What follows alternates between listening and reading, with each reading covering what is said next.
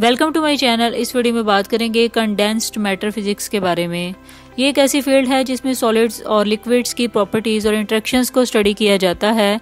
इस फ़ील्ड में मटेरियल्स की फ़िज़िकल प्रॉपर्टीज़ जैसे electrical conduct conductivity thermal conductivity magnetic properties और ऑप्टिकल प्रॉपर्टीज़ को एग्जामिन किया जाता है।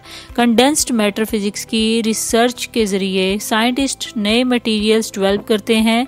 एग्जिस्टिंग मटेरियल्स की प्रॉपर्टीज़ इम्प्रूव करते हैं और नई टेक्नोलॉजीज़ डेवलप करते हैं। कंडेंस्ड मैटर फिजिक्स की एग्जांपल्स में सेमीकंडक्टर्स सुपर कंडक्टर्स और ग्राफीन शामिल होते हैं। सेमीकंडक्टर जैसे सिलिकॉन्स और जर्मेनियम की प्रॉपर्टीज़ की स्टडी से मॉडर्न इलेक्ट्रॉनिक डिवाइसेस डेवलप किए जाते हैं। सुपर कंडक्टर्स जिनके इलेक्ट्रिकल रेजिस्टेंस ऑलमोस्ट ज़ीरो होती है, काफ़ी इम्पोर्टेंट है।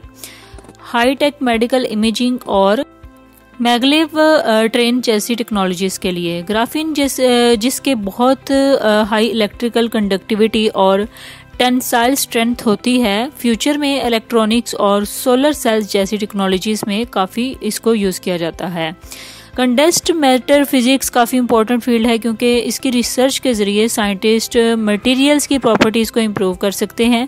इस फ़ील्ड के एडवांसमेंट के ज़रिए नए मटेरियल डिस्कवर किए जाते हैं और एग्जिस्टिंग मटेरियल की प्रॉपर्टीज़ को इम्प्रूव किया जाता है।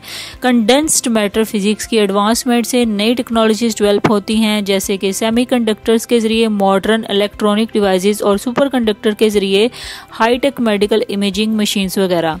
कंडेंस्ड मैटर फिजिक्स का काफ़ी ज़्यादा स्कोप है और इसमें काफ़ी सब फ़ील्ड शामिल होती हैं, जैसे कि solid state physics material science और नैनो टेक्नोलॉजी वगैरह।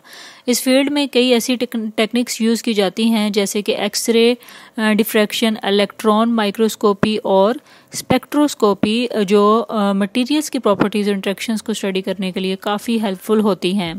कंडेंस्ड मैटर फिजिक्स के यूजेस में शामिल है। मटेरियल्स की प्रॉपर्टीज़ और इंट्रैक्शंस को स्टडी करने के साथ साथ नए मटेरियल्स और टेक्नोलॉजीज़ डेवलप करना। इस फ़ील्ड के एडवांसमेंट के ज़रिए फ्यूचर में नए मटेरियल्स और टेक्नोलॉजीज़ डेवलप किए जा सकते हैं और जिससे इंडस्ट्रीज़ और हमारी डेली लाइफ में काफ़ी फ़र्क आ सकता है। आई होप सो आपको कंडेंस्ड मैटर फिजिक्स का कंसेप्ट क्लियर हो गया होगा। For more informative and latest video kindly subscribe my channel